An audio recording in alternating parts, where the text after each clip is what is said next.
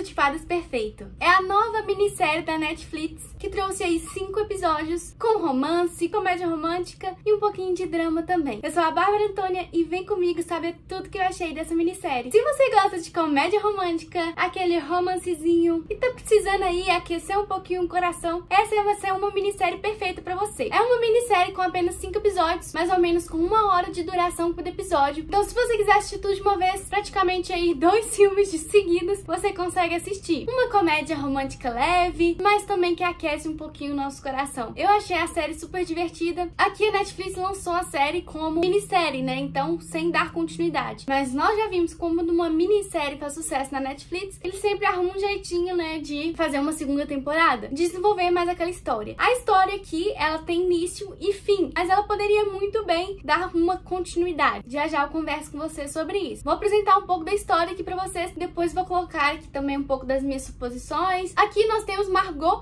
e David, que vem de mundos diferentes. Ela é uma herdeira de um império de hotéis e ele já é uma pessoa mais simples, trabalha em três empregos para se sustentar e ainda mora de favor com amigos. E um dia que acaba eles se cruzando, né? Os caminhos deles acabam se cruzando e que cada um tá passando por uma desilusão amorosa. Ela fugiu do casamento dela e ele ganhou um pé na bunda da ex-namorada dele. Então aqui eles se juntam como amigos para tentar ajudar um ao outro a reconquistar o amor da vida deles. Falando de comédia romântica, de romance, que essa história aí de ajudar o outro, reconquistar uma pessoa, acabam que eles se conectam, eles criam essa conectividade um com o outro, esse amor entre eles só vai crescendo. A trama é baseada no romance da escritora espanhola Elizabeth Benavent. A série tem um cenário lindo, maravilhoso, tanto nos momentos em que eles estão na Espanha, tanto nos momentos que eles vão pra Grécia na loucura e os dois vão juntos pra Grécia. A Margot chama o David pra ir viajar com ela. Ele aceita, então aí eles vivem essa aventura mesmo juntos. O laço entre eles só vão se aproximando cada vez mais, ficando difícil separar o que seria uma amizade ou uma amizade pouco colorida ali para uma coisa envolvendo sentimentos. Uma das coisas que eles estão claro na cabeça é que ambos queriam voltar para os seus antigos relacionamentos. Ela queria voltar com o antigo noivo e ele queria voltar com a antiga namorada. Só que eles acabam percebendo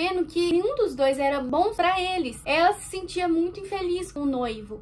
E ele se sentia também muito infeliz com a namorada. Eles acabaram percebendo que os dois juntos, eles se davam tão bem, eles se divertiam tanto, eles faziam tão bem um pro outro, se sentiam tão à vontade um com o outro, podendo ser eles mesmos. Eles sentiram que era para ser essa coisa leve e gostosa. A Margot e o David são ótimos protagonistas, pessoas interessantes, com histórias interessantes e cicatrizes, dores que se encaixam. Ana Castilho e Álvaro Mel têm muita química um com o outro. Realmente parece que eles se divertiram fazendo o filme. As brincadeirinhas, provocações, e deixam claro que tem um interesse sincero, amizade ali. E ao mesmo tempo eles tentam frear esse sentimento, essa paquera. E a gente percebe aquela tensão ali pairando no ar. Os atores conseguem representar isso para os personagens, né? Eles conseguiram viver essa tensão sexual ali desde o primeiro contato visual entre os personagens. Então a gente já percebe ali que, pô, tô aqui sem querer nada, mas opa,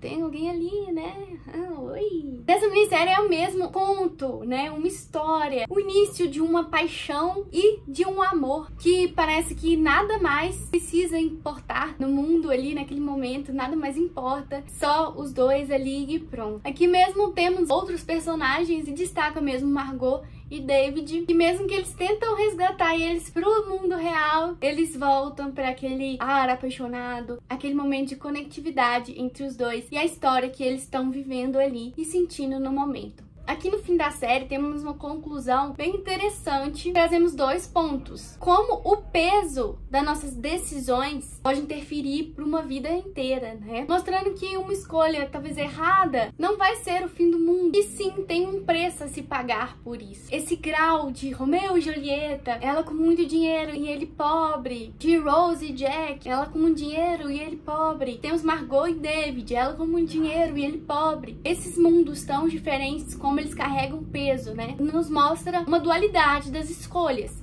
Se David tivesse, né, decidido, quando descobriu que era ela rica e tudo, ele tivesse, né, abrido mão dela e de poder estar com ela por isso, por essa grande diferença, é, principalmente financeira, né, ela mudaria para Londres, conheceria um outro cara, acabaria se apaixonando por esse outro cara e vivendo a vida dela lá, é, sem ele. E ele permanecendo na Espanha, abrindo, né, uma floricultura com o nome Volta Margot, mostrando, né, que realmente eles foram apaixonados um para o outro, mas que acabaram não ficando juntos e vida que segue aí. Só que nos mostra uma recapitulação aí, uma escolha, né, de uma nova escolha. Ele não deixando ela embora, ele indo atrás dela, ele se permitindo sentir e viver aquilo e ele tentando sim é, viver uma vida com ela. Acaba que eles mudam para Londres juntos e tem uma vida lá. Acaba criando a, a floricultura também, só que agora um viés mais positivo, mas também em homenagem a Margot. Aqui nós temos uma série de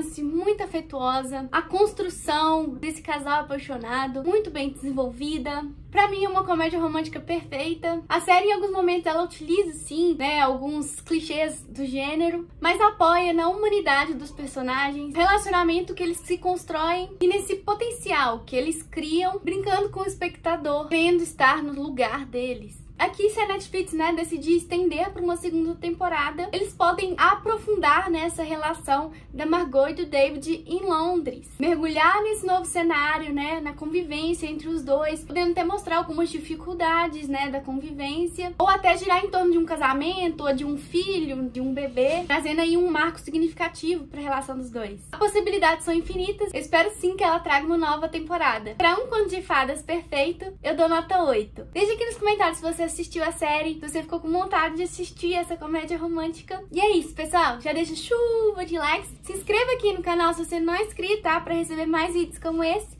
E é isso. Beijos e até o próximo vídeo.